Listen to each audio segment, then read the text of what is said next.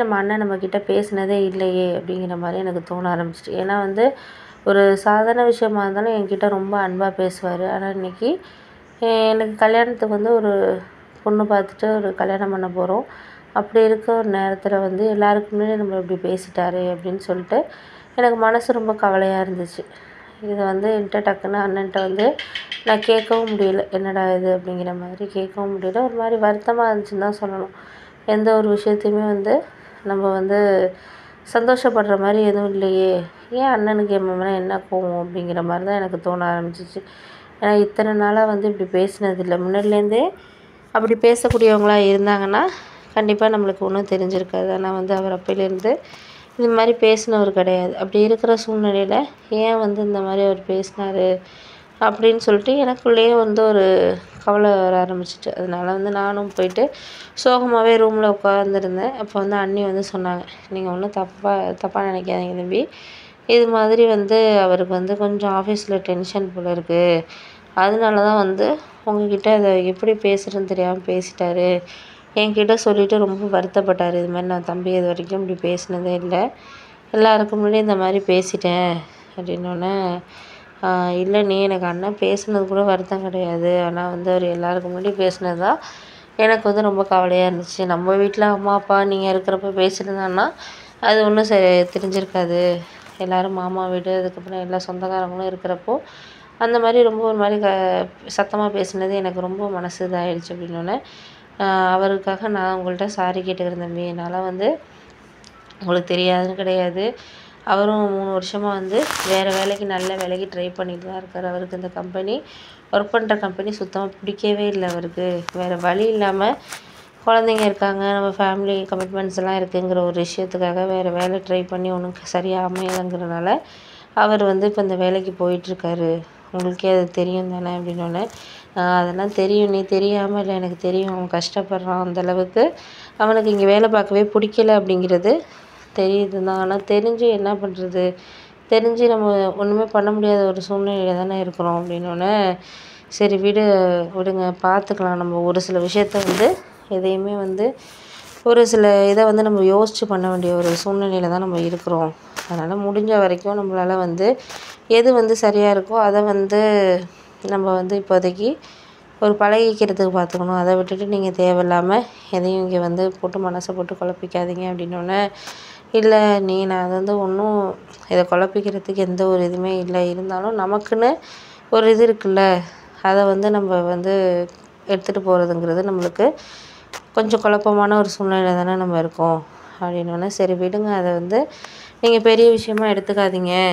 அவருக்கு வந்து ஏதோ ஒரு கோவத்தில் பேசிட்டார் அப்படின்ட்டு. அப்புறம் எங்கள் அண்ணி வந்து சாரி கேட்டாங்க. எனக்கு அண்ணியை பார்க்கவும் கொஞ்சம் கஷ்டமாக தான் இருந்துச்சு.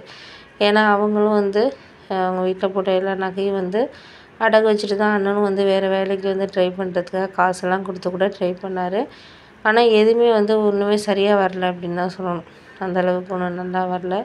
அப்படி இருக்கிற சூழ்நிலையில் நம்மளால் வந்து எதுவுமே வந்து அப்போதைக்கு எந்த ஒரு இதையுமே வந்து நம்மளால் செய்ய முடியாத மாதிரியான ஒரு சூழ்நிலை தான் இருக்குது ஏன்னா நானும் வந்து எனக்கு மாதம் முப்பதாயிரம் சம்பளம் தான் அது வந்து நான் கல்யாணம் பண்ணிக்க போகிற பொண்ணு ஃபோன் பண்ணாங்க. அது மாதிரி எல்லாருக்கு முன்னாடியும் வந்து உங்கள் அண்ணன் இந்த மாதிரி பேசிட்டாராமே. என்ன இப்படி பேசியிருக்காரு? எல்லாருக்கு முன்னாடியும் பேசுகிறதுக்கு முன்னாடி அவர் யோசிக்க மாட்டாரா? அப்படின்னோடனே சரி விடுங்க. அது வந்து எனக்கு புரியுது அப்படின்னு சொல்லிவிட்டு அந்த பொண்ணே அதுக்கப்புறம் புரிஞ்சுக்கிட்டாங்க. நான் பேசினேன் இது மாதிரி வந்து அண்ணன் வந்து வேணுக்குன்னு பேசலை அவருக்கு பேசணும்னு பேசலை அவருக்கு வந்து உனக்கு தெரியாத விஷயம்னு கிடையாது. அவர் வந்து ரொம்ப மனசளவில் ரொம்ப ஒரு மாதிரி கஷ்டமாக இருக்கார். முன்னாடி வந்து இந்த அளவுக்கு வந்து அவர் மனசு கஷ்டப்பட்டு நான் பார்த்ததே இல்லை.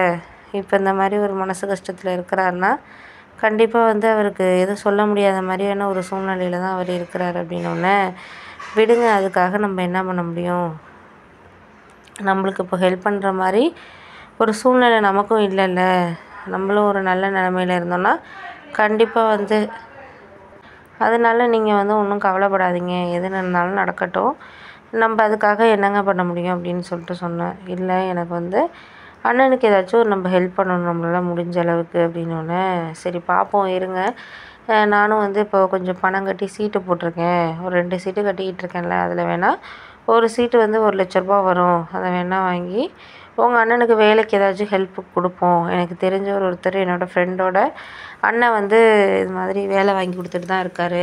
அவர்கிட்ட ஏதாச்சும் முடிஞ்சால் பணம் கொடுத்து ரெக்கமெண்ட் பண்ணி பார்ப்போம் அப்படின்னு சொல்லிட்டு சொன்னோன்னே நீங்கள் வேணால் வந்து அண்ணன் உங்கள் அண்ணனை அழைச்சிட்டு போய் சனிக்கிழமை இல்லை ஞாயிற்றுக்கிழமையில வந்து பார்க்குறீங்களா அப்படின்னோன்னே சரி ஓகே அப்போனா நீ அவங்க நம்பரை மட்டும் எனக்கு அனுப்பிவிடு. நாளைக்கு போயிட்டு நானும் அண்ணனும் போய் பார்க்குறோம் அப்படின்னோன்னே சரி ஓகே போய் பார்ப்போம் பார்த்துட்டு என்ன நடக்குதோ அது வந்து இருக்கட்டும் அதை போய் நம்ம பார்ப்போம் அப்படின்னோடனே சரி ஓகே பார்த்துக்கலாம் நம்ம அப்படின்னு சொல்லிட்டு அந்த நம்பர் மட்டும் அந்த பொண்ணு அனுப்பிவிட்டோன்னே அதுக்கப்புறம் அண்ணனுக்கு வந்து நைட்டு ஃபோன் பண்ணி சொன்னேன்.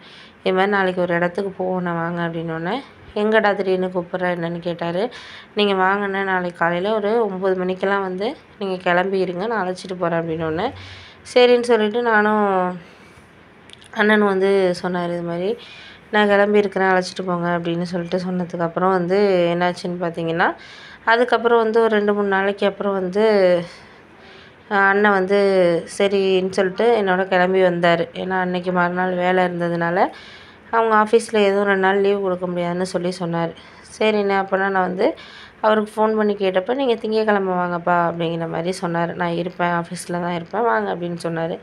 சரி ஓகேன்னு சொல்லிட்டு திங்கக்கிழமை அண்ணன் லீவு போட்டு அன்னைக்கு நானும் அண்ணனும் வந்து போனோம். போனதுக்கப்புறம் ஒரு ச மாதிரி அண்ணனுக்கு எங்கே அழைச்சிட்டு போகிறேனே தெரியல. போய் அவங்க வீட்டில் இது பண்ணப்பயே அண்ணி கேட்டாங்க எங்கேப்பா போகிறீங்க என்ன? திடீர்னு ஃபோன் பண்ணி ரெண்டு நாளைக்கு முன்னாடி சொன்னீங்களா? அங்கேயே அழைச்சிட்டு போகிறேன்னு என்ன விஷயம்? அப்படின்னோடனே இல்லை நான் ஒரு வேலையாக தான் அழைச்சிட்டு போகிறேன் போயிட்டு வந்து எதாக இருந்தாலும் உங்ககிட்ட நான் சொல்கிறேன் அப்படின்னோடனே சரிவா ஏதோ ஒரு நல்ல விஷயம் நடந்தாலும் போதும் அதுவே போதும். அப்படின்னு சொன்னோன்னே கண்டிப்பாக நல்லது தான் நடக்கும். ஒன்றும் கவலைப்படாதீங்க அப்படின்னு சொல்லிட்டு அதுக்கப்புறம் அண்ணனை அழைச்சிட்டு போனேன். போனதுக்கப்புறம் தான் எனக்கு அவர் ஆஃபீஸ்க்கு போனதுக்கப்புறம் அவர் நல்ல விதமாக பேசினார். அப்புறம் அண்ணனோட டீட்டெயில்ஸ்லாம் வந்து இது பண்ணார். அப்போ சொன்னார் இது ரொம்ப சேல்ரி கம்மி தான் உங்களுக்கு எக்ஸ்பீரியன்ஸ் இருக்குது ஆனால் ரொம்ப கம்மியான சேலரியில் சொல்கிறீங்க ஒரு ஐம்பதாயிரம் சொன்னால் கூட பரவாயில்ல. இருபத்தெட்டாயிரம் முப்பதாயிரத்தை கிட்டத்தட்ட ஏழு வருஷமாக வேலை பார்க்குறீங்கிறப்போ ஃபேமிலி ரன் பண்ணுறதுலாம் ரொம்ப கஷ்டமே சார் அப்படின்னு சொல்லிட்டு சொன்னாங்க. ஆமாம் சார் அதுக்காக தான் நானும் வேறு ஏதாச்சும் ட்ரை பண்ணிடுவோன்னு தான் பார்க்குறேன் முடிய மாட்டேங்குது என்னால் அப்படின்னு சொல்லிட்டு சொன்னார். சரி நம்மக்கிட்ட வந்துட்டீங்க இனிமேல் ஒன்றும் கவலைப்படாதீங்க. கண்டிப்பாக நல்ல ஒரு ஆப்பர்ச்சுனிட்டியை நான் வந்து உங்களுக்கு க்ரியேட் பண்ணி கொடுக்குறேன் நீங்கள் அப்படின்னு சொல்லிட்டு அதுக்கப்புறம் எல்லா டீட்டெயில்ஸும் வாங்கிக்கிட்டாரு. எப்படி கம்பெனி எதிர்பார்க்குறீங்க என்ன சேல்ரி அப்படி இப்படின்ட்டு. அதுக்கப்புறம் சொல்லணும் இது மாதிரி ஒரு ஃபிஃப்டி தௌசண்ட்குள்ளே இருந்துச்சுன்னா போதும் சார் எனக்கு இப்போதைக்கு. ஏன்னா ரொம்ப எனக்கு கஷ்டமாக இருக்க சூழ்நிலையாக இருக்கனால அந்தளவுக்கு இருந்துச்சுன்னா போதும்.